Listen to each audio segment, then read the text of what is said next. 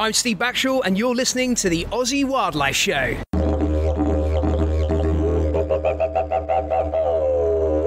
Hey guys, welcome to the Aussie Wildlife Show. Adrian here, and I'm here, of course, with Steve. G'day, guys. And we have with us today Terry Reardon, bat researcher. Welcome, Terry. Hi, Adrian. Hi, Steve.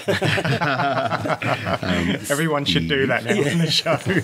So, um, so we're going to talk about bats, and it's your lifelong passion. Um, so, how do we eradicate bats?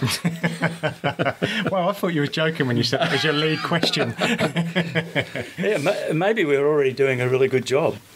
It's interesting. Um, in Australia, for example, you know, we put a lot of research effort into the, you know, the the bunch of threatened species that occur around Australia, but we and we know that they're threatened, and we know the processes that are threatening those species, but all the species that are generally thought to be least concern and, and common, um, we know nothing about. You know, their populations could have crashed, you know, um, by 50% in the last 20 years, and we would not know.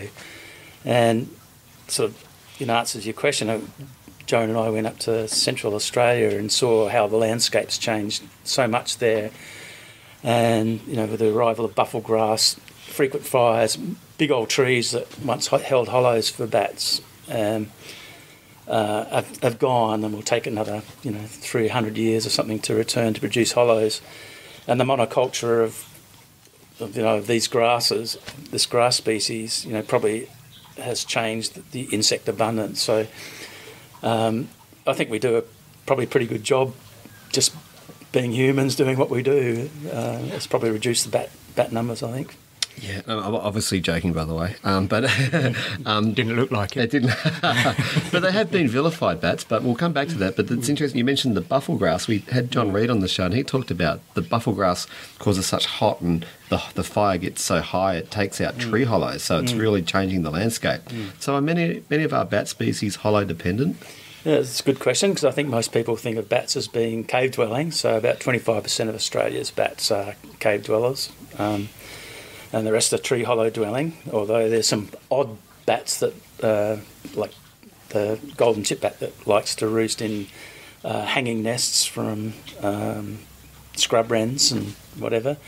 And some species, like a very common bat around, will be flying around your place tonight, which is the chocolate wattle bat seems to live in tree hollows here in in this part of the world, but you go out to the Nullarbor Plain where the really big caves are, and you know they form really large colonies. You know, it's maybe 1,000, 2,000 bats. So they're a cave dweller out there. I guess in Nullarbor there's no trees and no hollows, but they seem to adapt to, to both um, roosting sites. So they have been vilified bats, haven't they? That's it's it's a thing that people in a lot of lot of countries they're scared of. They think that they're going to cause disease, um, and that's not untrue, but it's also unlikely. Is that fair to say? Uh, I, look, it's an interesting thing, isn't it? In China, they're symbols of good luck. Okay. So, uh, you know, there's whatever, nearly two billion people or something that, don't vilify them. A lot of people, they're part of their culture, they're part of their food in, in, in various countries. They're not sort of vilified. Um, but, you know, of course, we have a history of vampire movies and Dracula and all that sort of stuff, which almost certainly taints, you know, our Western view of it all. So I think, and I think it's about being afraid, you know, like I think it's something we don't, you know, most people don't really see bats close up. Um, and that's one of the amazing things for me to show people bats close up, and they almost universally change their opinion once they see them.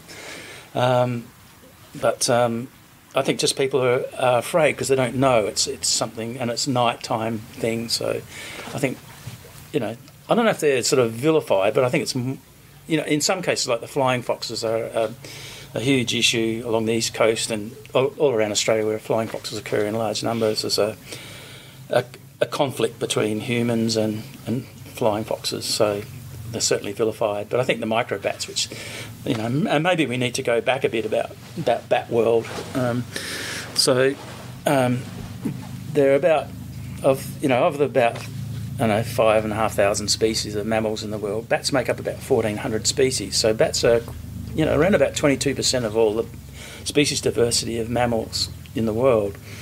And the same in Aus- and only rodents are a bigger group. So uh, bat, uh, rodents make about a quarter of all the species diversity of mammals in the world. we th- tend to think of Australia as the land of the marsupial, so we've got about 400 species of land mammals, and about half are marsupials, but a quarter, nearly a quarter are bats, and nearly a quarter are rodents.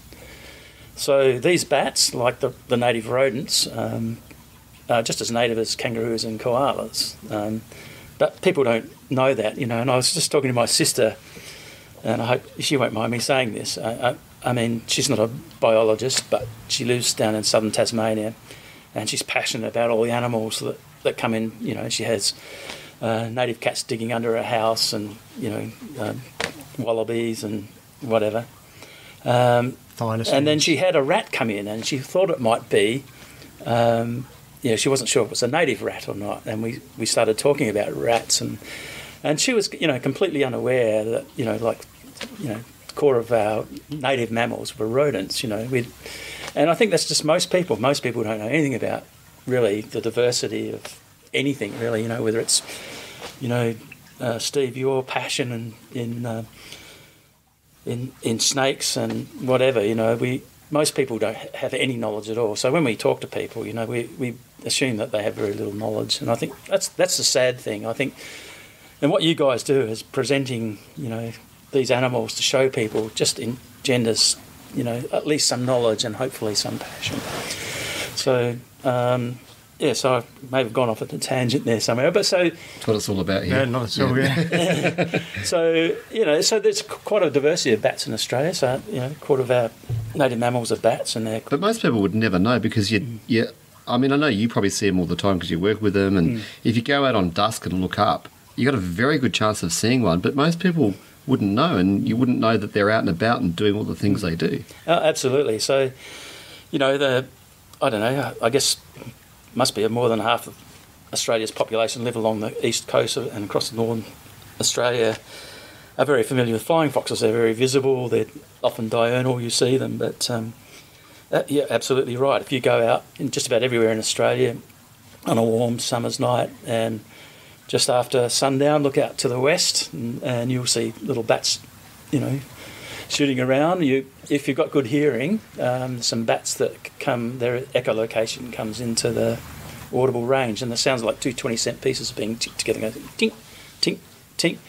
When I was growing up, I always thought they were some sort of insect or something or other, but you know, it's it's quite a large bat. You know, like it's almost um, I don't know, what a 40 centimeters wingspan, and you know, you know, 150 mil long, 100 mil long body. It's quite a large bat, but it's one of the most common bats in Australia, and it's you, you hear it universally. Is that called the striped mastiff or something? Yeah, the white striped free-tail bat, which is it's got um, this freetail bat has a little tail that sticks out of the tail membrane, has long narrow wings, and it's got this beautiful chocolate velvet brown, um, dark brown body fur. It's fantastic. But you open up the wing and look on the junction of the wing and the body, and it's got this beautiful white stripe. And you know, some individuals we've caught up in the Flinders Ranges also have this really nice white badge. It's almost like a, a footy jumper sort of thing. Beautiful, beautiful. It's a fantastic bat and big bat with massive teeth. Uh, and when we're catch, you know, doing research on bats, catching them, you know, you catch these things and they're just the most fantastic animals. Yeah, they're just really placid, you know, just to hold and whatever. Yeah, awesome. But you, but you're right. You know, they're, uh, we've got in Adelaide uh, maybe eight species flying around the Adelaide Hills, and probably six relatively common in uh, uh, city. And uh, we've had students in the past uh, doing work on looking at the bats in the city, and we know that they're relatively common around parkland, so people can see them. And of course, they roost in um, a lot of buildings now. So I, every year I get uh, calls from people saying, "I've got bats in my roof. How do I get rid of them?" And maybe we can go into that that process a bit later. But um, I think it was in one of the pubs in town. Was it the Talbot or one of the, I can't remember the name of the pub, but there was white striped freetail bats roosting in the roof of the of the pub. And um, my colleague who was doing that research was sitting out in the beer garden watching, holding a bat detector, and that was her research research site sort of thing. Way to go, I think. With the bat detectors, um, so that pick that that can read the ultrasonic sounds the bats make. So that's that's how you can do a bat survey without having to physically touch a bat. Yeah, exactly. So, um, yeah, so um, flying foxes, uh, lots larger bats, and they've got some relatively smaller bats called blossom bats uh, that occur up on the east coast and across northern Australia. Tiny little bats that, when you catch them, you put out a spoon with sugar in it, and their tongues come out about twice the length of their head, lap, lap the sugar. So they don't echolocate, so they rely on their sense of smell and excellent night vision. So most of the bats are insectivorous bats, and they use the ones that use echolocation. Uh, and they use that echolocation to navigate through obstacles and find their insect prey. They're mostly insect eating, and uh, I'd like to talk about some research on on their diet in a minute. But um, so um, yeah, so they call out this sound, but they also have eyes. So when you that's I think that's one of the things that surprise people when you show them a bat, an echolocating bat. They've got these little eyes like mice, and Blind, they see quite well. a bat. Yeah, so blind to bats, not true. And they've got excellent black and white vision, and we think that's for you know larger scale navigation. So often you'll see bats flying down roads or rivers and things. Um, so their call, uh, so it, echolocation is an amazing subject, and um, and it's difficult to describe without seeing some pictures of what the the calls look like. But if I can d- describe it this way, so we were talking about the white striped free-tail bat, which has a call which is at about 10 kilohertz. So humans generally can hear, say, up to 20 kilohertz. So 10 kilohertz is within our range, except like me, as you get older, your upper hearing goes. So I haven't been able to hear white striped bats for, you know, 10 years or more. But young kids can hear that hear them really easily. So that they fly around, they call out this call at uh, 10 kilohertz. And if you see the shape of the call, and I'll, mimic it by whistling, it would sound like would like like be like this. Relatively monotone, flat calls, and every second. And what that tells you that they're putting all their energy in one frequency band. They're, they're waiting long distances between pulses to get the echoes back. And essentially, they're finding insects. They're not very maneuverable in their flight. They've got long, narrow wings and they're chasing insects and catch them on the wing um, uh, by intercepting them, and uh, uh, and then you get and I mentioned before the chocolate wattle bat, which is a common bat around here, which has a, a, a call which the bottom of the the loudest part of their frequency is around 50 kilohertz, so five times way above our human hearing. But if you could hear see the shape of the call, it would call from about 70 kilohertz down to 50. So and very fast rate. So, and you can tell about what the bat's doing and pretty much where it's foraging because that. So, bats with low pulse rates flying above the tree canopy. Um, these things with fast rates, obviously dodge, dodging um, vegetation, and they're chasing insects that are moving all the time. So they want the information back really quick. So they're picking up really short space. And there's a relationship between the frequency and the size of the insect that they're chasing. So lower frequency is bigger wavelength, so they're picking up bigger insects, whereas you know really high frequency is picking up smaller insects. So yeah, so they're shouting out these sounds, and even though they're above human hearing, they're um, very loud sounds. So they're you know the order of 120 dB. You know, like in my day, my day, Deep Purple and Led Zeppelin would be the loudest concerts around about 120 dB or something or other. So we had, we had a dB meter when I did music, and Oh, really? I'd smash my snare drum, and that was over 100 dB, just Yeah. one snare drum, let alone a whole band. Yeah, okay. So, um, you know, these bats are calling, you know, these tiny little things, you know. So now I'm talking um, little chocolate wattle bats, you know, their body size not much bigger than a mouse and a wingspan, maybe, I don't know, 200 millimetres or something or other, six inches or something. Um, so these tiny little animals are just shouting out this enormous amount of sound. now, if you shout this sound out, you, and if I, t- you can't hear much else that's going on if you're shouting out this loud sound. So they decouple their bone from their eardrum so they they can shout and not get that noise travelling through their head. And of course, then they've got to wait for an echo. And now they've got to shout out loud sound because you know that sound dissipates to the square of the distance. So it gets like as you double the distance, it halves, and then by the square of that, so twice the distance is four times less sound. So it radiates like that. By the time it picks up an insect, little, and then the insect echo comes back to the bat. You know, there's very faint sound, so that's why it has to be really loud. But the thing is that sound, the higher frequency you go, it dissipates in the air really quickly. So it means that um, high pitched sound gets what's called attenuated, just dissolves much more quickly in the air, whereas low sound travels much further. So when we have, so we have these, you know, in the last when I started out, um, we didn't have bat detectors, but the technology's gone amazing and become amazing in the last um, you know, 30, 40 years. Um, where you've got these handheld detectors or things that you stick on front of your your uh, phone or your um, iPad or whatever. And fantastic microphones that uh, then show on your screen the shape of the call, and you can record the call and do analysis. So we can actually walk around with a bat detector and see what bats are flying around. You guys should have a bat detector here, and we, sh- we need to know what's happening on this property. Yeah, that's great. That'd be great. And they're probably drinking over your little little dam there as well at night.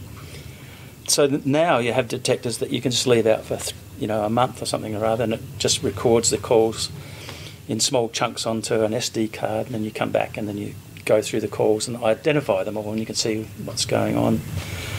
And there's been a lot of work done now trying to automate this this process. So um, in the old days, you know, you you record, you know, a couple hundred thousand calls. You have to go through every file and look at it and, identify it. It's really slow, and increasingly there's been better algorithms and ways of doing things. And but thus far, we, the ultimate automated back back call and analyzer hasn't been developed yet. But I've been talking to people recently, and they're using convoluted uh, convoluted neural network um, algorithms to actually develop automated keys for bats now. So I'm really hopeful that soon we'll have, you know, be able to identify most bat species.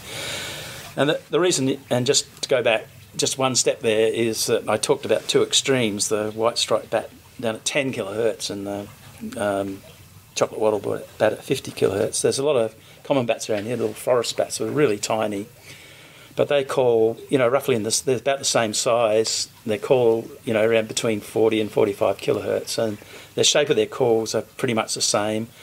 And through Doppler, you can get shifts of um, um, a couple of kilohertz.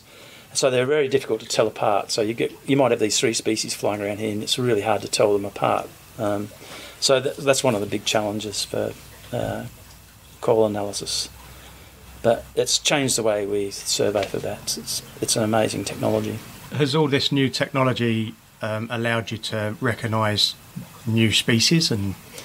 And Yeah, I would imagine, like if we can't hear them, then Yeah, absolutely. Yeah, so um, I guess historically the way all this worked, you know, in fact we did some work up at Cape York um, uh, in 2009. We were asked because I think um, I think at least half the microbat species up there were on the threatened species list or something or other. And so we had a job to go and sort of work out, you know, what you know what is the what do we think the status of all these bats are. So we went we went up to the top of Cape York from Cairns and worked our way back down. Did a different went for 30 days and did 30 different sites. Put out stacks of bat detectors, caught lots and lots of bats, and um, developed a um, you know worked out what's there. Um, and so we, we had a pretty good idea of, of the species diversity. And there's there's a couple of bats called uh, horseshoe bats that have these amazing faces. You know, they've got this instead of shouting out their sound, they hum it through these leaves on their these uh, like skin leaves on their face in the shape of a horseshoe, and they've got these little fleshy protuberances and really unique looking bat. And there's a couple of three species on Cape York, and they've got constant frequency calls. So they instead of doing or they go very flat calls. And we can identify the species really easily. But recently, some people um, uh, in just north, I think around Mission Beach on the on Queensland, picked up this flat call, which was not the same frequency of any others, and so they've gone back there, and we think this is a new species. So, so exactly, you know, what you're suggesting is that there's the possibility. You know, once we get to know an area, so how, how do we know what species? I guess this leads on to how do we know what species has what call, sort of thing. So that's what we spend a lot of time in. So we go out and catch bats, and we do that using very fine mist nets. Um, and um, can you remind me? to Come back to Cape York and shotguns. wow. Because I think where I was going to go there, um, it's going to go about the history of how we how we know what bats are. But I'll just finish off this about echolocation calls. So no- normally go out with mist nets and and string them up over waterways or in gaps in the bush. And we have these things called harp traps, which are um, square aluminium frames about two meters by two meters that have these uh, nylon strings about an inch apart, vertically strung, and two or three or four banks of those. And when the bats fly, and you put them up on the stand, and then when the bats fly into those strings, they fall down and they go into a bag. And so it's a very good way to catch bats. And many species, like spider catching bats and a whole lot of other uh, bats, which we don't catch in mist nets, we catch in these harp traps. So we go out and we catch all of these bats, and then we identify them, and then we get a little, uh, you know, those Cyalume sticks, little fishing Cyalume sticks. You know, you break them and they glow in the dark. So you get these tiny little ones, and then you get a bit of sticky tape, and you cut about an inch of that, fold in half, and then put the the Cyalume stick on the bat's belly and squeeze it between a few strands of belly fur, so we know what the species is because we've identified. And then we let it go, and we all run around with our bat detectors and follow it through the forest and record its call. So we do that over and over and again, and build up a reference library of calls, um, so we know what each species is, and then we put put those reference calls into the whatever algorithm we're trying to develop to automatically identify them, and then hopefully we can identify the unknowns, sort of thing. So that's how that works. But I'll go back to just Cape York, just because. Um, yeah, it's, it's interesting. I, when we did this study uh, in 2009, I looked at the old records um, up there, and there was all these bats caught that hadn't been caught for a long time. And I realised back in the day, people had used shotguns to collect bats. So these bats, like the Papuan sheath-tailed bat, which is relatively was thought to be relatively rare, and it's quite a large bat, it's as big as the white striped free-tail bat. And um, all the records for this, you know, and this is a clearly obvious thing. If you had a spotlight, you'd see it, and you can easily shoot them. So a lot of rec- a lot of the early records were done with shotguns and, and bird nets, which are really thick. So the very small microbats don't get caught, you know, in the mist nets. And then you know that sort of phased out. And then with the invention of um, harp traps, it just completely changed our view, our knowledge of what bats were. All of a sudden, we're catching all these different suites of bats. And then the combination of that and bat detectors and all that sort of changed. So the history of you know the Cape York bats, you know, it looks like some species were present and um, and then went extinct or got rare and all these other species. But it's just simply a, a, function of the evolution of the way people did did bat work. So Shooting bats to find them. Um, when when you s- you got megabats and microbats, Mm-hmm. but uh, there are some pretty big microbats and some pretty small megabats. Is that true? yeah, worldwide. So it's a interesting conundrum because um, uh, when you know when bat people talk about megabats and microbats, we fully understand what it means. And I got hammered in a recent paper for using those terms because in the old days it was thought that megabats, which is really a family called Ter- Pteropodidae, which has the big flying foxes and a bunch of little uh, blossom bats, and that was a separate evolutionary line to all all the echolocating bats and genetic work done. Um, oh, I guess it must be 15 years ago now, but repeated since have shown that the microbats, the echolocating bats, are in two groups now, and the um, um, megabats are in one of those groups. And I just saw recently a, a phylogenetic tree that suggested that the ancestors of, of bats, which you know probably 55 million years old, so the old fossils from Wyoming and from southeast Queensland and India, which were found around about 52 million years ago, seem to have the apparatus for echolocation. So bats probably evolved, you know, sometime 55, 60 million years. I'm not sure.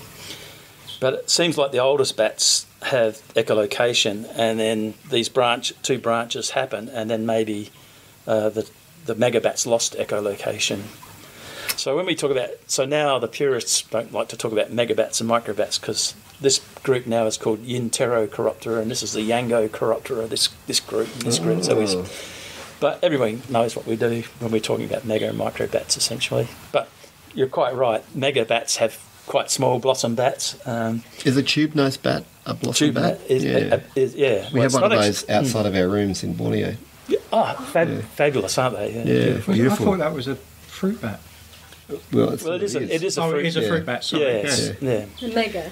It's, a But it's in the fruit bat. it's in the mega bat, and the biggest, in fact, the biggest um, micro bat. Um, well, there's two. There's one Australia's ghost bat, but there's another one in Borneo called the naked free-tail bat, which is this huge thing, just no fur whatsoever. Of course, it occurs in Borneo, but Australia's got the most fantastic um, ghost bats. Undoubtedly, you've seen them in zoos and In zoos Yeah. always have the ghost bats, don't they? Yeah. Mm. Gorge have them with their buildings. Mm. don't know if they still do. So do the big um, fruit bats don't have echolocation? no. Even the little fruit bats don't have echolocation. Even a little What about ones the don't. medium ones? They do. Oh, they do. and again, that's not strictly true because there's things called barebacks, fruit bats. So we've got uh, one species in Australia and there's several species through New Guinea uh, live in caves and they've got this um, a click, which is an echolocation, but it's not echolocation, it's just a click. And it's like the, I don't know if you've seen those, um, what do you call those, cave swiftlets up in Chillagoe and places like Yeah. in a lot of places, you know, they have this little audible click. They're in Borneo Yeah, too. yeah, yeah. Mm. Yep. There's some rodents that do a bit of echolocating. Yeah, I think. Yeah, I, I, that's right. I think the bandicoots also have a high pitched, slightly Really? high pitched sound? I'm not sure. Didn't Oh, know that, Don't yeah. quote me on that one. It's too No, late. It's too late. maybe, I was, uh, maybe somebody did somebody tell me Hypsiprymnodon. Oh, okay, the Did- musky made- rat yeah, kangaroo. made- That's interesting. Yeah. Um, there are people that go blind and they can do clicks out the Click. window and, that, and they they can see the buildings and things, can't they? They start to it goes. Does the echolocation does that go to the optical part of a bat's brain, or do we have any idea? Or? I guess it goes to the audible side. The audible side because Okay. they do or have eyes and they have vision anyway, which is Yeah. processed. Okay. is that So not, sorry? Is that a comic thing that you've just said there? That What? people can put their head to a blind, can put their heads out the window, click, No, that's true. and see a building. That's true. Is it? no, Blind, yeah. I, I, I think he's I pulling think your he's lead, reading Steve. something there, Yeah. isn't he? Yeah, there was a No, and, and actually, Guys, I want to see this. An actual- Joan, an Joan's here. Come. boy. Yep. I saw it. Yep. Yeah, Joan saw it. Yeah, Yeah, it something must be true. happened. Must be true. Yeah. uh, actually, When, when uh, did you see it? When you were clicking? Yeah.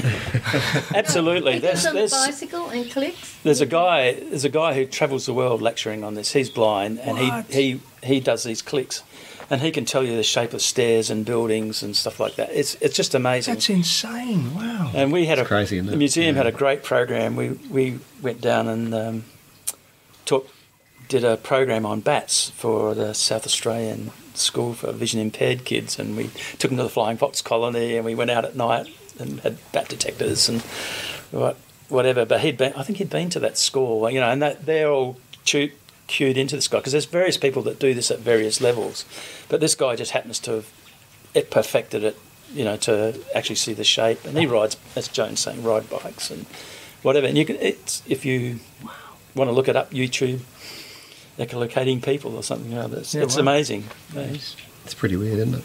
Um, so bats do a lot of really good stuff. I mean, what comes to mind is, do you drink tequila? Do you like tequila, Terry? To kill What? tequila?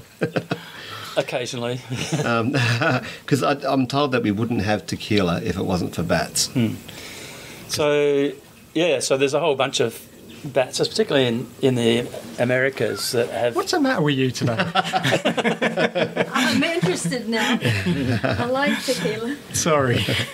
Yeah, so there's a whole bunch of bats that um, are in uh, are, are echolocating bats in the uh, Amer- South Southern America, s- um, Central America, and South America that uh, yeah pollinate cactus and a whole lot of things. So they're not using echolocations in the same way as chasing insects, but they're, nocturnal and they are attracted to the um, you know night flowers, and they're just yeah just an amazing co-evolution that you know you've seen all those you know pictures of the way insects and flowers co-evolve to, to look like one another and um, and oh, and- and my favourite oh, yeah so there's a whole so you're right so there's a whole bunch of uh, bats that pollinate flowers um, that are in the insectivorous group that are different than the blossom bats which also pollinate uh, flowers. And uh, yeah, it's fantastic photographs of our pollinating bats. You know, um, you know, putting their head in a in, inside a plant, licking out the nectar at the base of the thing and the stamen, sort of hitting and filling up their head full of pollen, and they fly on to the next one and pollinate it. Because things like bananas, um, the agave where we make tequila, and is there anything like Australian, uniquely Australian, boab trees? Boab apparently? trees, yeah. So our little uh, northern blossom bats that pollinate, yeah, pollen, boab trees. And I don't, yeah, I, don't, I really don't know a lot about the the diet and what um, I've seen in New Guinea, like uh, what are they called, syzygium? Is that lily pillies? Yep. Um, yeah, they're on those those trees. Does that mean those guys flower at night time? but yeah, well, Yeah. they open at night. Yeah. Yeah, Mm, okay. mm. Um, so the insect eating bats, they save us billions of dollars, don't they? Yeah, so well, there was this, you know the classic study that we all quote, and I, I never get I never quite remember because it was a range I think, but uh, in America that they they thought that um, the insectivorous bats in the US contributed something like three billion dollars to the agroforestry economy. Um, so you know when you think about it, like all these you know at night, millions of these bats are flying around at night eating all these insects. So they're really important for insect um, regulation. So that's important for they're eating things like mosquitoes and whatever. So that's important controlling insects that may, you know, cause human and animal disease, um, and also uh, eating. So we have had a student um, recently from Adelaide University, Joanne Coon, who did a study down at the Bat Cave at Naracoorte. Um, and what what we did was we put all these plastic sheets in the cave, in a couple of caves, for overnight. And when the bats, you know, this bat colony has thirty thousand bats in it, so they came in, they do droppings on the sheets, and she uh, went in and carefully picked up all the individual fresh droppings, and and some other colleagues in Victoria got some, you know, cave floor droppings and whatever, and she did, used environmental DNA to look at the diet of these bats because we don't really know. And that's one thing we don't know about most of our bats in Australia is what their diet is. So we know that they're in, insect eating, but we don't know what key insects are, are important. And if we want to look after them, and particularly the bentwing bat down at Naracoorte, which is a critically endangered species, we need to know what its diet is so we can provide, you know, the habitat that provides that food item. So when she did her uh, environmental DNA analysis on the droppings, she found that they, she discovered there were 67 species of moths in the diet, and which is quite a diversity for one night, you know, in this in southern Australia. And I think it was 13 of those were uh, known as crop pests. So these bats are out there, you know, cleaning up all these important crop pests. And so things like um, we, do know that the chocolate wattle bat that's common around here is a moth specialist. So you know, we don't know what the contribution to our, you know, like our apple growing orchard is. You know, when they're eating, um, you know, light brown apple moth and codlin moth and whatever. But you know, they're important. You know, from that that point of view. So they, they people always ask, you know, you know, well, why are bat, bats important to us? Well, they are in a sense, you know, they should be important because they are they just exist, but you know, they do have a role, you know, in our health and our food production and whatever. And they're doing it this big bi- biological service with diminished numbers too, because Hmm. their numbers are like a lot of. Sorry about that. Um, there, there would have once been a lot more. Yes, yeah, exactly. Um, do you guys know James Smith? Do Yes, James very well, yeah. Um, I had dinner with him um, late last year, and he's building a new house, and he's putting a section of his roof. Do you know about this? Yeah, yeah, I've been involved with it. Have from, you? From oh, the right. get-go, There you yeah, go. Yeah, It's for yeah. bats. Yeah, Isn't it? yeah. People are kind of ringing you saying, How do I get the bats out of my roof? He's trying to build his roof to facilitate Get bats. bats. So I think in in most cases, you know, I get calls and people are, uh, you know, you talk to them and they it a, a lot of, I'd say most of the people uh, are happy to leave the bats there once you talk to them and you know because they're a bit worried about diseases. You know, this is a common, and I should have mentioned when you asked me about vilification. I think it's the the disease side of it's another aspect why people are a bit frightened of bats, but And vampires, too, to be fair. and vampires, Yeah, yeah. that's the other one. Dracula. Yeah. But um, yeah, lost track then. Sorry. yeah, so you're talking about James Smith's um, It's bat roof. bat roof. Yeah, so most people are happy to leave them there once they know, you know, that they're, you know, it's not going to affect them or whatever. Um, or, you know, there's pretty simple solutions like, you know, putting a shade cloth above your BMW or something so they don't poo on their on your car. But you know, in some cases, you know, they've got legit reasons to get get rid of them. You know, they're redoing the roof or whatever. So you know, there's strategies for and, you know. And James, I think, on top of this as well about the way you can. You know, uh, it, generally what you do with, with houses, for example, is um, you know work out where the bats are flying in and out, and then in in uh, February, March, when the weather's still warm and the young have born and have left, uh, you know, uh, uh, independently flying, then you gradually sort of block up all the holes until that point, and then you can put a little rubber flap or just block it up on a really warm night when they've all gone out, and it seems to work. But, bit like possums. One way door. yeah, Get yeah, 'em that's out. it. Mm. With the uh, with the insect bat, something that we have spoken about a few times on on podcasts. Um, you're driving around at night nowadays, like even in Northern Territory, and you don't get many insects. It used to be impossible to keep your windscreen clean and things like that. Like nowadays, there's just not as many insects around. Is that affecting bats? Is that a So there's problem? been yeah, there's been a fair, a bit in the literature in the last you know four or five years about the diminishing number of insect numbers and diversity in in Europe and I think in America. I'm not so I haven't seen that much here. As- I haven't been aware of it. But yeah, uh, you know, I mean, I think about you know when I was a kid and you turn your front porch light on and there was moths everywhere on the thing. Now I don't really know whether you know that's my memory of a night when it was you know warm night and there was about to rain And we're the gonna remember came those through. Yeah, we're going to remember Yeah. those nights. Mm. So it's a bit yeah, it's a bit of a that memory. And but I noticed you know we have live in the hills and there doesn't seem to be that many moths coming to the you know to the the glass door when the house lights are on, that, that sort of thing. And, and people often talk about, you know, the.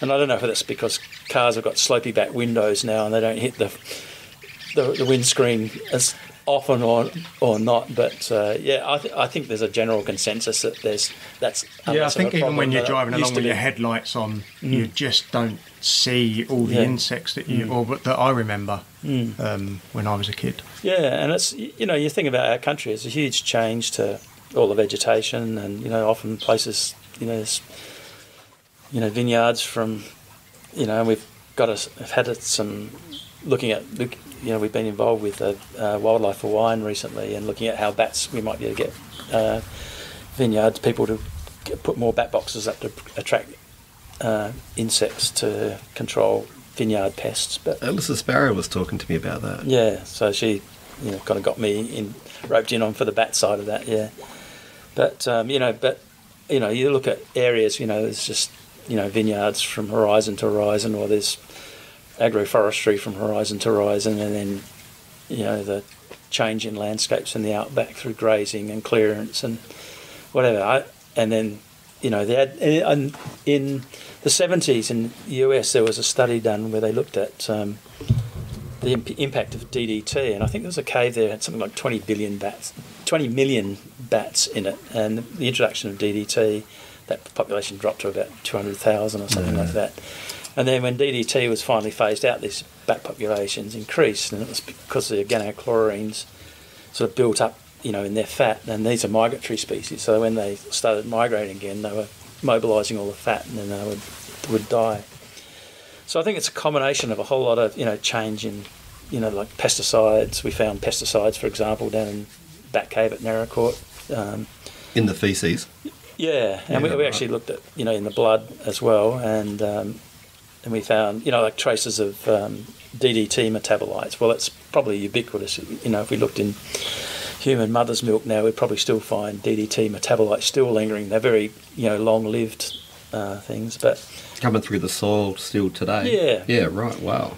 and going you know into the plants and then the insects, and then we found a thing called methamidophos, which was none of us had heard of, and we looked up, uh, and it was a miticide for used in potato crops. This was in, in Bat Cave at Naracoorte, and thought, oh well, that's weird. There's no potatoes down here, but out of my ignorance, there were huge pivot, you know, growth areas of potatoes. So somehow you know it's got up through the, the chain and into the bats. Now I don't know whether that affected the bats or, or not, but it, it was detected in our assay. But we do know that things like organochlorines and organophosphates and those sorts of things that were commonly used in DDT, you know, a lot in the Adelaide Hills, say Piccadilly and whatever, you know, 40, 50, 60 years ago or so, you know, would have been around and probably would have killed a lot of bats, I imagine.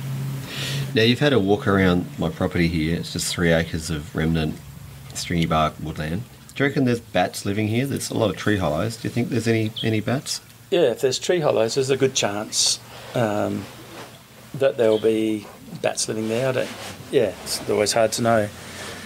Um, but they all, we all have bats flying over here. So, you know, if you were to put out a bat detector at night, you'd hear bats flying over, and you know, I'd be surprised here if you didn't pick up, you know, at least seven species. And, and as I said, I'll bet they, they will come and drink out of your little pond there on really hot nights. So. I do hear the one you mentioned, the, the striped freetail. The white striped white striped freetail. Mm. Yeah, the 220 cent piece. I do hear that one. And we see fruit bats on dust too. They're, they're massive. They've got like a one metre wingspan. They yeah. fly over like something cruising out of Mordor. They're mm. ridiculous. Um, have, you're obviously aware of is the golden crown flying fox? It's the um, one in um, the Philippines. It's the biggest of the fruit bats. Well, biggest oh, wingspan. No, I don't, don't know that common name, but yeah, oh, there's a bat called vamp. Yeah, it's a 1.7 metre wingspan. Yeah, point, yeah, yeah, yeah. Wow. So you've seen how big the ones here are. The biggest in Australia, wingspan wise, is a metre, and that just looks ridiculous. Mm. This thing's like mm. 1.7. Yeah. Nuts. Yeah. Yeah, I, you know, flying foxes are amazing. I think, you know, like you, again, you see them, they must have fantastic faces, and, you know, people have them, you know, look after them, and they're very interactive and curious. And I often tell a story. I was in a place in New Guinea, um, and we went to this cave in the jungle, and it was like I don't know, maybe the size of three tennis courts or something like. Was this whole it just dropped, you know, like nearly hundred feet, thirty meters sheer sides, and on the walls were um, I don't know, 150,000, 50,000 something. These bareback flying foxes just roosting on the sides of the walls, and I remember abseiling into this cave to see if it had tunnels going off, and you get to the bottom, and of course you sink this far in in bat guano and shit and whatever. and then, of course, the bats take off and it was raining urine all over me. And I thought that was the best place I'd ever been in my life. bat world. Mm. Wow. Do, yeah. do, we worry about the fact um, that bats have all of a sudden kind of arrived in Adelaide as well? In seems to be one place outside the, the, the zoo. Mm. Not, it doesn't seem the best place for them in red hot Adelaide at certain times of year and things. Yeah, it's it's such a vexed issue. You know, like on one hand, you know, this is a, a, a nationally threatened species, so and we've known for a long time that that species, the grey-headed flying fox, has moved further and further south. Um, so it's normally distributed from around Rockhampton um, down to Sydney or so, and it's moved. I think in the 1980s it got to Melbourne, and then built up colonies much the size we have, uh, even bigger than we have here at the moment and eventually they came here in 2010. Like there was one found in the Botanic Gardens, and then a woman in Fullarton had uh, she rang up me at the, rang me at the museum, said, "Oh, I've got all these, you know, 500, 500 flying foxes in my pencil pine. This is in Fullarton." Uh, yeah, well, uh, and she was insistent, you know, and I thought there were microbats in, in a hollow or something. Like that. so I went around there and we got there a bit early, and it was this beautiful pencil pine, pristine, no noise or anything. So we sat around her and drank a bit of wine, and then just got dark, and all of a sudden, 500 fly just flew out of the pencil pine. And then I think Chris Daniels and a whole bunch of and ABC, we all went down there next morning and banged tins and shooed them out of a property, and then did that for a couple of nights, and they disappeared. And it turned out that that was a, a, a major food shortage. So in that year, uh, there, there was just hardly any nectar around for those flying foxes in their normal area. And so they were flying to a really weird places. They turned up in Tasma- southern Tasmania for the first time. There's, you know, um, wow. emaciated ones on oil rigs on Bass Strait, sort of thing. And then they, they made it to Adelaide. And I think what happens is you kind of get this, uh, you know, I don't know how they how those animals communicate, but they seem to have some sort of corporate knowledge. So you know, so those ones that we shoot out in 2010, most went back because it just coincided with the end of the food shortage. So they probably all went back to Melbourne and back up to northern uh, New South Wales, south, southeast Queensland. But then the following years, um, you know, the, the following year there was a small colony, about 30 in the Botanic Gardens, and then because Sydney and Melbourne had spent millions of dollars trying to get rid of theirs from their, you know, having 20 and 50,000 bats or something ruining their trees. You know, it made sense in Adelaide before these bats got habituated to get them out. And so the Department of Environment did a really good job banging lids and moving them gradually out over a month. You know, they'd bash tins and they'd fly to another tree and they'd fly back in the afternoon and they'd do that next morning at six o'clock. And eventually they'd stay there and then they'd do that again, they'd go to that tree and then eventually got to where they are now. And then the population, you know, at that stage it was around 400 and I understand it's around about 30,000 now. Yeah, it's very vexed, you know. In, in many ways, they're in, a, in as good a place as they're going to be because there's been a lot of over the years calls for culling and calls for moving them, but you know every time this dispersals happen, it just puts the problem somewhere else, and you don't know where that is. You know, you know I think in in Melbourne they spent a lot of money trying to get them out of Melbourne Botanic Gardens, and they built this. Uh, well, they identified a site on the Yarra, and they built these big aviaries and put bats in there to attract all the other bats, and eventually shooed them out of Botanic Gardens, but they went somewhere else at Yarra Bend rather than Horseshoe Bend. So you know you you can't send them where you want them to go, and we tried finding sites in Adelaide where we thought that might be palatable to have these colonies, but so yeah, and there's a lot of uh, stakeholders involved with all this because there's been power outages, there's been you know the fruit growers are, are, are concerned, and I think there's been a couple of plane strikes and whatever, and well, the planes that crashed into the bats. Yeah, so that this, I guess it's not you know not that happens a lot. You know, I think in northern Australia and microbats hit them all the time and birds, but um, and as far as I know, that's the only three. I think they were out at might have been two of them out at Parafield, but um, I can't remember the detail. But so a lot of people kind of worried. There's a lot of stakeholders involved with this colony. Um, uh, Botanic Gardens are rightly worried about the impact on their, their gardens and whatever. They're in a place now which is in a really good spot in a way because, you know, the, the trees aren't, you know, aren't their most valuable trees, but definitely the footprint's increasing and they're having an impact on the trees that they're in. And and I think what happens is that the you know, and I think it's partly because there's less food available, and maybe the fires may have had a big impact because some of the fires burned out some of the you know the big areas of of eucalypts. So they're mainly feeding on eucalypt blossom. Their preferred diets eucalypt blossoms, but they will feed on other fruits, native fruits, and then if it, things get desperate, they'll feed on you know cultivated fruits. I get them in. I've got a big introduced banksia just next to my house, yeah. and they come and um, get the nectar from the banksia. Yeah, absolutely. So you know they're primarily nectivorous, but um, and then there's black flying foxes, which are really numerous and occur right across southern Australia, and their numbers are coming further and further down. Oh. So, one thing we're thinking about, they might be competing for resources. Um, it's a big, complicated story, but the most reliable, it seems, winter resources in northern Queensland and southeast, sorry, northern New South Wales, northeastern New South Wales and southeastern Queensland.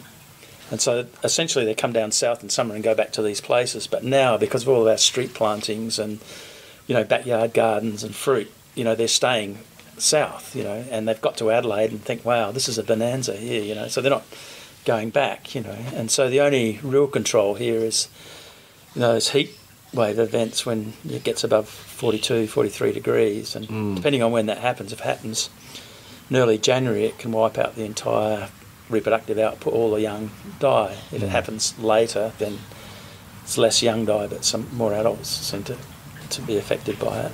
Wayne and Katrina end up with hundreds of them and yeah. rehabilitating them, don't they? Yeah, it's a huge, it's a huge, and it's a shocking thing to go there. It, you know, you, it's just the smell of all these dead bats, and they're lying around on streets and whatever. So the whole lot of us go in there and you know take bags and pull up all these dead bats. You know, it's a pretty shocking thing. But these volunteers are, you know, you know you're been talking today about the wonderful volunteers you have here on this property, and I think of all those fauna carers and other people that come in and volunteer and do that really distressing job, so other people don't have to actually contend with it. You know, and the city council's been amazing, and the botanic gardens been really helpful.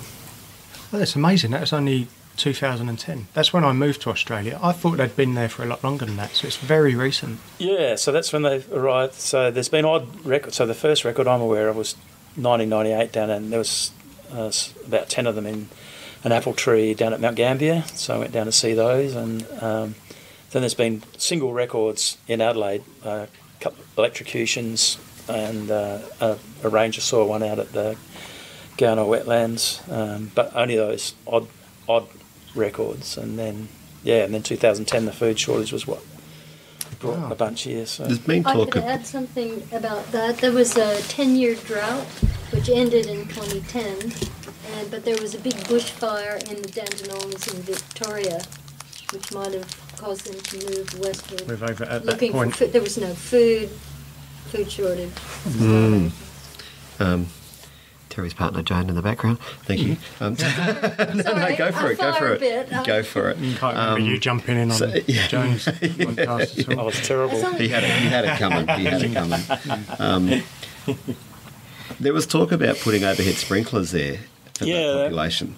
Yeah, I think that yeah, They there was a bit of fun, They have. a bit of funding made available for that. Um, I think yeah, and there was a, a bit of concern because uh, they were worried about elm rust, I think, um, by having moisture in the trees. But um, eventually, I think they put it up. But I think there's there's been a couple of couple of issues. Um, uh, yeah, I don't really know a lot about you know how it's how it's going, but I think because they've got standing water and, and there's really tall pipes that they have to drain out. If you leave it in there, it kind of gets well, it makes noise when it goes up, but if you leave it in there, you, I guess you can get um, fungal growth or whatever. So I'm not, yeah, I'm not, I haven't caught up with th- those guys um, about that in the last Mm. year. Last time so. I went down there, yeah, there was the big pipes going up to the Mm. trees. So, yeah. Yeah. Okay. Um, it was interesting. You said that the fruit bats evolved from some microbat way back in the Paleocene. Um, because I remember hearing decades ago people thought they were almost evolved convergently and that the fruit bats evolved from lemurs. Mm. Was that- ever a thing? Did I dream that? No, you didn't dream it. There's been, Crazy. no, it's, yeah, like I think, um, I think for, for most, you know, most of the, most of the time up until was that 1990s, I think we thought there was a single origin. There was a guy, Jack Pettigrew in Queensland, who's fat, amazing guy. He reevaluated. I think he he noticed that the visual pathway from the eye to the brain was unique in flying foxes that were more like primates than it were like other bats. And so he proposed this diphyletic, or two separate origins for these two groups of bats. And then, then a whole lot of people published uh, genetic stuff and showed no, no, you know, they come from a single ancestor. And then he reanalyzed all their data and, and challenged it because they had you know, base, you know, base biases in their DNA and all that. But then subsequently, there's you know, enormous amount of sequencing done, and, and so that dual origin is, is uh, you know, it's been pretty refuted. And the interesting thing is that some of the mammalian trees, because it's interesting looking at the various changes of mammalian evolution and all their relationships, because for a long time, bats, you know, I started off bats I thought were close, more closely related to shrews than anything else that that lineage. But now it's you know part of the horses and rhinos as their one of their closest relatives. You know, thank God Wow. rhinos don't have wings. And so, Imagine the size of those wings. yeah, yeah. Pegasus. Wow. What got you into bats? How come? How come you're into bats? Yeah, I don't know. It's interesting because I was asking you guys earlier a bit about you know how you get started, and it's and it's often you know I, I don't know how, how you get started. I, I remember at school, kind of at least no formal education, but interested in looking up rocks, and I used to sell skinks at school for threepence and stuff like that, and catch zebra finches, and so it was part of that. So you were a poacher. Poacher. I'm joking. But yeah, and then at some at some stage um, we got involved with um, you know bushwalking and caving, and I became pretty. You know, I, I was consumed by caving, cave diving for many years, and and then we went into a cave once, and there was a bat on the wall, and the guy said, "Oh, don't let it bite you; you'll get histoplasmosis." And I said, "What's that?" And he said, "Oh, it's a disease." You know. Um, anyway, so I went back and looked it up. Uh, I was working at the Waite as a technician at that stage, and I looked it up and I said, oh, hex- histoplasmosis is actually a fungal disease. You can only get it from it grows in the guano, you know, the guano on the floor, and if you breathe in the spores, you know, you can get lung disease. Not, um, and people die. People who mine guano for fertilizer and, and for gunpowder, uh, who get huge challenges, can easily die of it. So I thought, well, nobody's done any work on bat, bentwing bats at Naracoorte. I'll go and do collect some samples and get a mycologist to look at see if we've got histo there. And um, uh, anyway, so uh, then I was actually running a uh, going on a diving trip to the Nullarbor, and then I went to the museum and asked the guy. And I'd learned a little bit about bats at this, not much.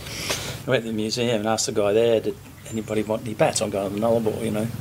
And uh, he said, "Oh, we don't, but go out and see these guys out at Gilles Plains doing. They've just got a grant to look at the taxonomy of Australian bats." So I went out there and and eventually they signed me up to go on a six month field trip around Australia collecting tissues for bats and and then I did that for the second year did it was a three year grant so I did that for six months and then another six months and and then I went to Tassie for three months so and then we published and then they gave me a job um, and we published uh, all this using genetic techniques which became in vogue then was all not DNA but protein electrophoresis. Um, we showed that all these bat species, like what some of the, these little forest bats I was telling you about before, which you know right in the very beginning was thought to be one species in Australia, and then some people did some uh, looked at the morphology of them and said there was four species, and then we did the genes and it showed that there were 11, uh, nine species in Australia, and so. Um, yeah, and a whole lot of bats, bat groups we did the genetics on and published and showing that there were lots of different species and and um, yeah, so I got a job and yeah, and then I worked in that genetics lab, which was a wonderful thing because we worked. I worked for other guys who were doing working on fish and bacteria. I published stuff on I don't know um, bacteria and fungi and whatever. It's really good, but bats always kind of a passion. And it's one of those things you kind of get a little bit of knowledge, and then so after those field trips, you know, I learned a bit, but I didn't know that much, and I thought I'd write a little book on that's not really knowing that much, and and then just about a lot of the people that were old, a lot older and had expertise passed away, and then I became the expert, not knowing much at all. So you look up stuff, and you gradually accumulate some knowledge, and then you know. But one of the really neat things for me, one of the best things for me, is being as part of a group that sort of set up the Australasian Bat Society, which has now grown to I think 700 members. And there was, you know, there were a bunch of bat researchers back in, you know, in the early 80s. And now there's bat research going on all over Australia, and you know, I feel really proud to be involved with that society because it was very inclusive. We brought in everybody, and you know, all these fantastic students now and researchers doing really, really nifty stuff. You know, um, I, this project we've just done at Naracoorte had a PhD student. We put pit tags inside 3,000 bats, and we've got these big loop antennas inside the cave. And when the bats fly through, it records every bat. So for four years, we had you know 3,000 bats, you know, flying through. We got their daily movements and under, completely reshaped our, our prior understanding of their seasonal cycles and how they all all work. You know, so this combination of new students and technologies and this overarching body, you know, which, and the conferences are always great. It's just just finished one now last this week. Um, um, you know, I think you know bat research is really healthy in Australia. You know, there's a lot of people. You know, and I think you probably see it across a lot of the disciplines. I think, and, yeah, um, yeah. I feel feel like the research side of it's really healthy, but still so much to learn, so much we don't know, and um, yeah, and then this ever pre- pressing thing of worrying about the future, you know, future of all of our animals, not only bats but everything. You know, still kind of what you, drives you, I guess. Do they have any any predators? Yeah. So, um, so yeah, there will be uh, predators for bats. So, you know, bats live in tree hollows, often live in low hollows. So, you know, you often see snakes and goannas um, pick them up occasionally. Uh, uh, we've talked uh, earlier before this interview about Graham Medlin, who's it's the most amazing guy. Does all the owl pellet stuff, but and he found, finds bats in there in some of the owl pellets, but it's a pretty low proportion of all other parts of their diet. So we don't think they eat a lot of bats. Um, so yeah, so I don't. Yeah, it's hard to imagine what predators would be in some of the caves and whatever. I mean, we see down at Naracoorte the occasional uh, possum goes in there, but I think they're just picking up, and rats probably just pick up dead, you know, animals that have fallen from the roof, sort of thing. So Bats, eh? Yeah, get one. get it back. My mate So said where that. can we buy them? Yeah. well, Michael Alexander from Black Snake Productions has been on the show. He was here the other day. He he's a demonstrator like me, and he's in Victoria. He came to see Steve at Gorge and bought a couple of fruit bats. And he said, if you get some baby ones and you raise them, you can use them for educational shows. Um, I don't know. Then, then, then me and my staff have to get needles, and then I have to have a, an animal that can fly in an aviary, and I just feel bad for it. But what do you think? Yeah, What are your thoughts?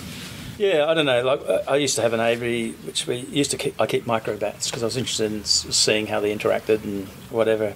But I always take them to talks, you know, because and I think I was talking to you earlier about little free-tail bats, which um, you have long, narrow wings, and they normally have to climb up high to take off. So they're great. They're called scurrying bats. So you can just stick it on your shirt or run around your shirt and not try and take off, you know. But it's absolutely, you know, in in the it was it's so much harder now to take you know wild caught bats along to talks to show people. Um, the authorities are really worried about diseases and all that sort of stuff, and it's a big permit rigmarole. But it's just a game changer. Nearly everybody I show, you know, people haven't seen bats close up, and you know, and you see them, and they're like your pig, you know, like your pygmy possum or your, you know, um, you know, they're just small and cute, you know, and they've got gorgeous faces. And you open the wings and you see how finely delicate, you know, those wing membranes are and the long, thin bones and whatever. And uh, yeah, I think, you know, the only way, you know, you pay, change people's opinions really is for them to see the bats. And, and I guess that's what you do and what I try and do a lot of is go out and talk to groups and try and spread the word, you know, and I think when people see the pictures and whatever, I think people are, yeah, by and large persuaded to like them and understand them. But, um, but you know, we who do we talk to? We often talk to groups that are already interested in the environment. You know, so um, ninety-nine point nine nine percent of people probably won't even know what a bat is, or you know, it's difficult. They're also different too. Like you talked about the different structures in their face for the sound vibrates into their face. Like did you say was there a leaf t- leaf nosed bat? Yeah, there's leaf nose and Yeah. horseshoe nose bats, and yeah, and the ghost bat has a big, you know, sort of uh, fleshy leaf on its face. Yeah, which is a carnivorous bat, by the way. Eats other bats and birds and whatever. I was Yeah. fishing. Where was I fishing? Uh, Coffin Bay. Oh yeah, with a friend and went back to like put his boat away and everything. Saw some bats flying around, and he said, um, "Oh yeah, I've got some Hessian sacks." He just lays over in the things. He said they've all got bats in, like almost like he's done it for the bats to go into. Um, which I've actually got a picture of the bats. It's not very good for a podcast, but yeah. So that's a long-eared bat. is it? Yeah, I Fairly obvious when you see its ears. isn't it? Yes, yeah, and that's a really common Pretty bat. cool. And I, I can't tell you the number of stories I've heard of people with sheds and and f- that- finding that species, you know, under hessian bags, or you know, they throw their saddles over yeah. something or other. I think John actually had the Hessian bags there for the bats because Yeah. he, he seemed mm. to have a lot and he's kind of controlled them in an area of his shed. Yeah. And he just sort of went and, and I went, What are you doing? And he grabbed one and went, There it is. So I made What? bat boxes on the strength of that. So I got PVC pipe, you know, six inch PVC pipe about that, about I don't know, two feet long or so, um, whatever that is, and sixty centimeters or so, and put a cap on the top and put uh, rolled up hessian and then just drilled some holes in the sub- side and support the hessian on some fencing wire. And they worked really well. In fact, I put them up down in the forest down in southeast at Penola. I went back after three weeks and uh, the very first, a long-eared bat was in there, roosting in there after three weeks. Wow. How it finds these things, I don't, Wow, I don't know. They've got spatial memory. They must know every new thing that happens, you know, within their. They, they must know the whole landscape really well.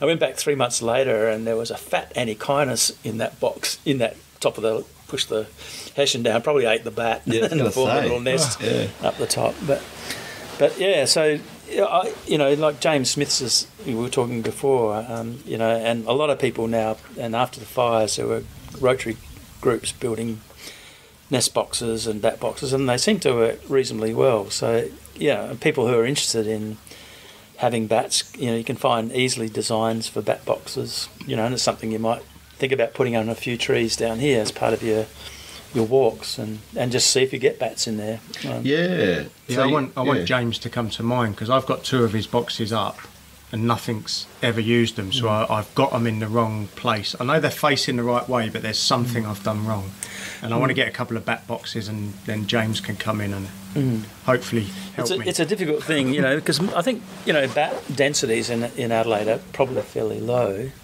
um, but you know there's been some amazing studies on bat boxes. There's a group at Organ Pipes National Parks in Victoria put out like hundreds of boxes, and they've they've done done it very.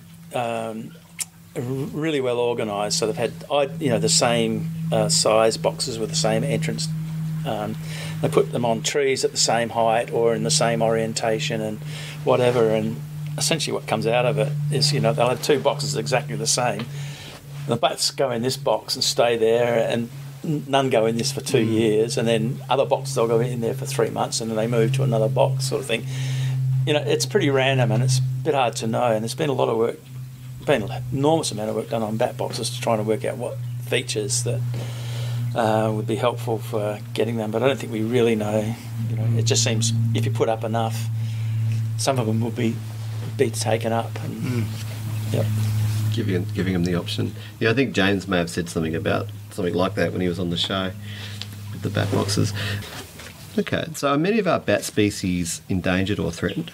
Yeah. So um, I'm not exactly sure what the the number is now, um, but you know, maybe about ten percent uh, in threatened categories. Uh, some, uh, like the southern bentwing bats, critically endangered, and others and others vulnerable. Um, so yeah, and there's a lot of attention paid uh, to those species. A lot of cool work going on, but I guess my great fear is that um, you know the cave bats are relatively easy to study. You know, so a lot of these things like ghost bats live in known caves or in mines, for example. Uh, and a lot of limestone caves we know where there are lots of bat colonies and they're kind of relatively easy to study but the forest bats are really difficult you know we've got no way of knowing. So, so at Naracoorte for example I've got a um, colleague of mine at Humbug Scrub who is an amazing maths boff, boffin. So we've just got some funding from Zoos Victoria to count the population which we do by recording the whole night, fly out and fly into the cave, and he's written this amazing software to count each bat that goes out and goes in. So we, you know, we can get a really good idea on, um, uh, you know, how the population's trending and, and what their movements are, etc. But forest bats are really difficult to know. We've got no real idea how their populations are tracking. It's just such a difficult thing to do. You might be able to do it in a small area, but some of these bats have large distributions, like chocolate wattle bat I mentioned before, and the long-eared bat we talked about that was in the Hessian bag. You know, they're pretty much all over Australia, but we don't. You know, their population could have halved in the last 50 years, and we would have no idea. Um, this. Um, so I guess even though we do know that there's a number of bats that are threatened, and people are working on those and trying to, and it's very difficult because, you know, for example, the southern bentwing bat, which has a distribution essentially from Robe in South Australia over to, um, let's say, west of a little bit west of Geelong, and it's we know that it's got a couple of key maternity caves and a bunch of wintering caves where they disperse. So we can we can study that bat really well. But even even though we can study it, and it's probably one of the most studied bats, and we and we now know start to know something about its diet. We're now starting to understand its seasonal movements and its dependence on caves and all that. But what do we do with all this information? This is an area that's probably had ninety percent of its native vegetation cleared. You know, uh, it, you know, how do we provide for that bat? And there's 13 other microbat species that live down the southeast as well. So how do we actually do anything about it? Um, um, the way we're approaching it is, like I said before, you know, we look at try and look at the diet throughout the year. We've only looked at the diet on one night, so we want to do that throughout the year and work out what food it's eating and and therefore try and plant things and establish habitats that will provide that food. But we just don't know anything about all the forest bats. We've no idea, you know, how they're tracking.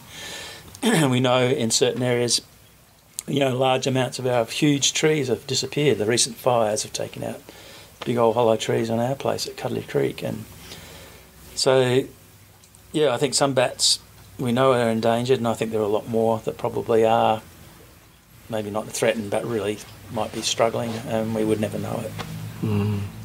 Yeah. Um, okay, final question. Do you have a favourite bat? it, it, it's a it's a common question. It's a really bat. yeah. I kind of really like them all, but it's a bit hard to go past the ghost bat. You know, it's I think it's one of five species in that family, and it's the biggest, uh, along with that um, naked bat in Borneo, is the biggest of the microbats. And you know, this bat could quite easily jump through your fingernail. You know, it's got massive teeth, massive jaws. Yeah, you know, I've caught them before, and they're just really placid and intelligent-looking animals, and just yeah, really unique. No, yeah, I think probably my favourite. Are they called ghost bats because of the colour? Yeah, Yeah. Mm. Um, and they're very quiet. You know, Oh, you watch them fly out of a mine, you just can hardly hear them. Yeah, Have you ever had anything to do with vampire bats? I said that was the last question. I lied. Sorry. have. Yeah. Oh, you have really? Because there's like three species, isn't there, of vampire bats? Yeah. so the common vampire bat is the one that people worry about most. I, I suspect because they, you know, feed, uh, you know, on horses and seals, and you know, if you see if you're going to swag and got your toe out the end, you know, they can feed on you, feed on humans, and Because they have to drink blood every night, don't they? Uh, you probably know more than I do. I think they have to they have to drink regularly, and Okay. um, yeah, and they, they can eat almost their body weight, and, and they when they take off, they just sort of launch like a Harrier jet Yeah, to get into the air and Like fly. Dracula.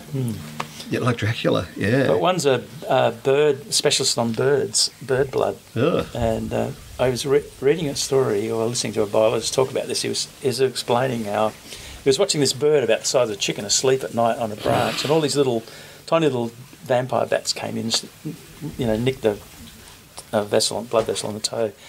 And over the course of an hour or so, he watched this, these bats come in and lap up the blood, and, the, and apparently the bird just fell off the branch in shock. Oh my They just God. lost that much blood. So. How rude. Um, so, I've got one other thing to say. yeah. Hammerhead bat, Ah, yeah. Well, now we're talking. different league, Yeah. different league of bats. What's just happened? I thank you. Hypsignathus monstrosus. I was, I was going to say that. but I was gonna let you Monstrosus do. No, definitely. Uh, Pretty weird looking bat. It's, It's the- like a horse head. I'm just trying to Oh, find I have Adrian. seen that. I've seen picture pictures. of- Yeah, wow. Yeah, it looks like a gargoyle. Ah, there's, And that's there's a, just so many. That's a fruit bat, isn't it? The yeah, I think bat? it is. Yeah, yeah, it is. Um, but I was thinking, just as you think, eh, look up um, the lacewing bat or Centurio senex. This is bat that's got a face look it's like it's hit a car window at 120 kilometres What's it an called? Uh, Lacewing bat. lacewing. How'd you spell bat? It's like bad, but you swap the D for a T. Swing. I can give you this. Come up with lacewing things. No, it's probably better to write in Centurio. That's, and it has this kind of weird, it's an ugly, un, no doubt the ugliest bat in the universe. It's just got this horrible skin on its face and these flaps that. So we've gone from our favourite bat to our Oh least favourite bat. good lord! Chocolate wattle bat. Yeah, it's got these beautiful wings. Oh, it does look like ah. it's flown into the back of a bus. yeah, that- and apparently it Are you closes sure it didn't? Apparently, somebody told me that those They those flaps on the see. on the bubbit's brow fold down and match up with its chin. I think it's to hide its face in shame. Oh, I would think so. Look at that. Wow. But it's got beautiful wings. You know, Look at it go. These beautiful lace wings. It doesn't matter. You're never going to see the wings past that face, are you? And did you say just? And I'm going to go right back to the beginning now. And I did say this is the last question. You said they um, separate their ossicles from their eardrum so they don't Yeah, so only hear their echo. yeah, and the call they're sending and out. like this, back and forward. Oh, So, So yeah, so it's very fast muscle movement. It's like I think it's 200 a second or something or other. They can do this. man, bats are so Just crazy. de- decouple, yeah, the, so they can hear. that is above so the shouting. That is so bizarre. Um, wow. Thank you so much for coming on, Terry. No Um, worries. And, Awesome. Yeah. Yes, thank you. I'm going to thank Joan again too. Last week's episode. Yay, thank you. Last week's episode. Like we bring one out every week. Yeah, I was going to Um, say, don't get people's hopes up to weekly. Jeez. Oh man. Thank you for having us. Oh, that You was a more than pleasure. welcome. That was awesome. Yeah. Thank you Thank for all your knowledge. That was amazing. That was amazing, and thank you for all you do. Yeah, And and to you guys. Likewise. yeah, cheers. Thank you, and guys, thank you for listening.